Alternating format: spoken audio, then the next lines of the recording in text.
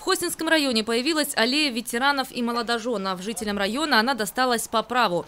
Девять хостинцев стали героями Великой Отечественной. На сегодняшний день в районе функционирует множество ветеранских организаций.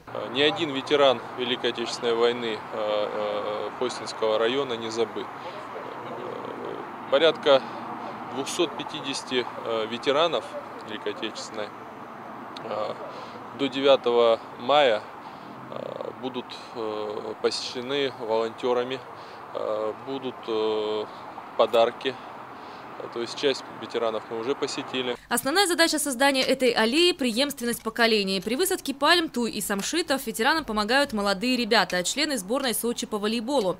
Всего ветераны высадили 6 деревьев. На этом история аллеи не закончится. В будущем рядом с этими именными растениями появятся саженцы молодоженов. Любая пара после ЗАГСа сможет высадить на аллее свое дерево.